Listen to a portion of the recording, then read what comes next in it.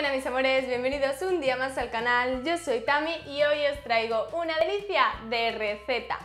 Un bizcocho súper esponjoso, jugoso de calabaza, que estamos de temporada con la calabaza, repleto de especias, ay de verdad, es que... Mm, me muero, se me cae la baba, tenéis que probarlo, es súper fácil de hacer y está de muerte, así que no me enrollo más y os dejo con la receta.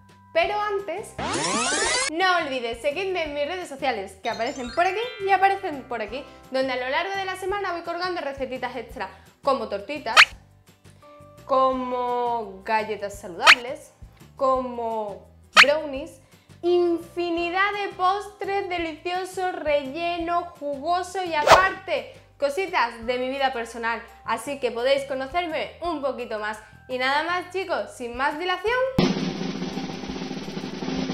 ¡Comenzamos!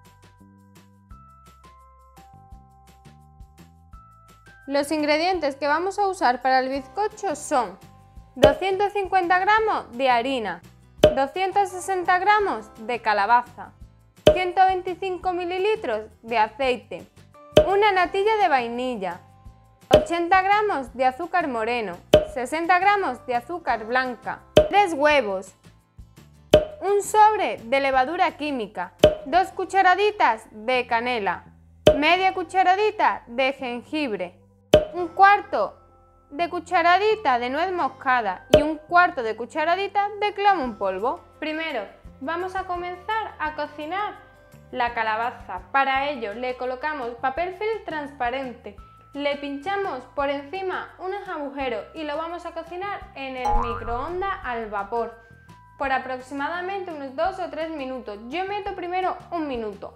Dejo que se cocine durante un minuto, lo saco, lo pincho con un tenedor que sigue durito, vuelvo a meterlo otro minutito y así es como la voy cocinando. Pasado el tiempo, sacamos del microondas. Retiramos con mucho cuidado ya que el vapor que sale puede quemar. Así. Lo sacamos un poquito y con un tenedor pinchamos. ¿Veis? Está blandita. Eso quiere decir que nuestra calabaza está lista y cocinada. Ha tardado 3 minutitos. Así que retiramos con cuidado el papel film. Hay que tener cuidado porque quema. Retiramos el papel y esto lo vamos a dejar enfriar a temperatura ambiente. Continuamos. Separamos los huevos. Así. Dejamos la clara en un bol bien amplio y las yemas las vamos a reservar para más tarde. Ahora vamos a hacer un merengue. Para ello vamos a batir durante un minuto nuestras claras y vamos a ir añadiendo poco a poco el azúcar.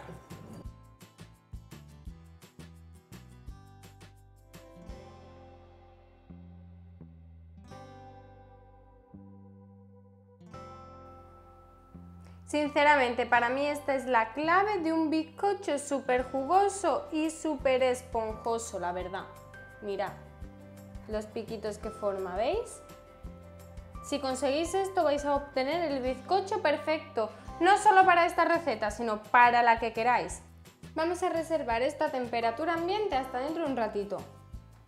Cogemos nuestra calabaza que mientras hemos hecho el merengue se ha ido enfriando un poco y con un tenedor Vamos a ir aplastando hasta hacerla un puré. Lo podéis hacer también triturándola con la batidora, pero bueno, así se hace muy fácil porque está muy blandita y se consigue el mismo resultado. Así.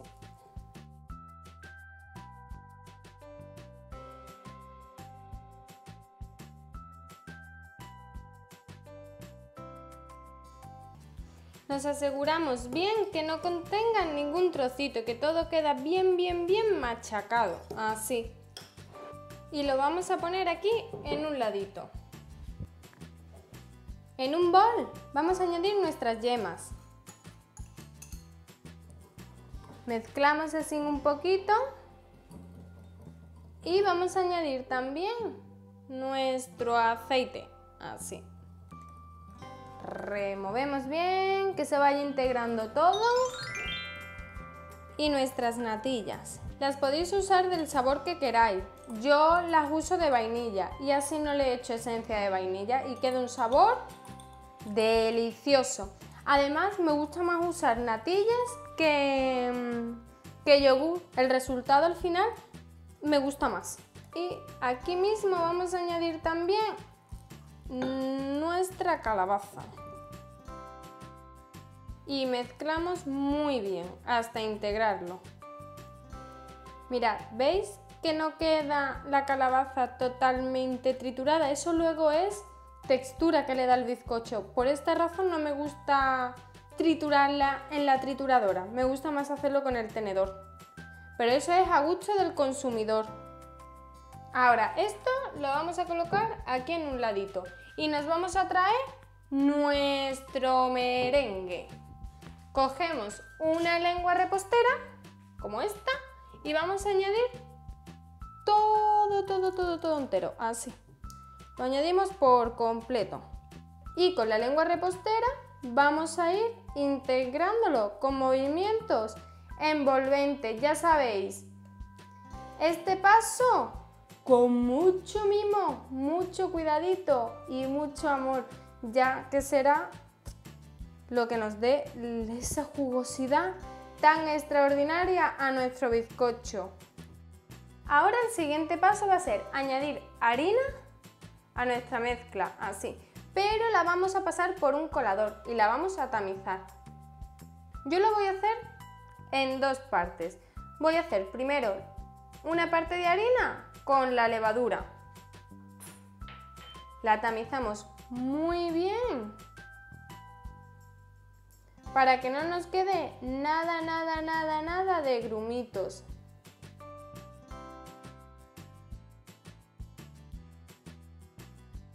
Ahora con la lengua repostera repetimos el proceso. Con movimientos envolventes vamos integrando nuestra harina, así. Una vez ya tengamos incorporado esta primera parte, vamos a añadir el resto de la harina junto con las especias. Yo le voy a añadir un poco de clavo, de jengibre, de nuez moscada y canela. Repetimos el proceso. Con mucho mimo y mucha delicadeza y muchísimo amor vamos a ir integrando nuestra harina. Así.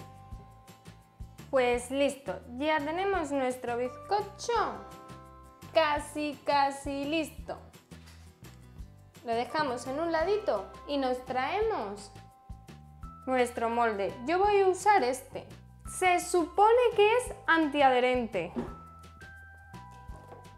Pero sinceramente yo prefiero añadirle un poco de aceite y engrasarlo para asegurarme 100% de que no se me va a pegar. Así. Y ahora vamos a añadir nuestra mezcla en el interior. Le damos unos cuantos golpes para sentarla bien bien y que se meta en todas las ranuras. Y esto lo vamos a hornear a unos 170 grados por aproximadamente unos 30 minutitos. Sabremos que el bizcocho está hecho cuando le pinchemos con un cuchillo y este salga limpio. El tiempo de horneado varía en función de la potencia de vuestro horno, así que haced la prueba del cuchillo y os saldrá perfecto. Una vez listo, sacamos nuestro bizcocho del horno.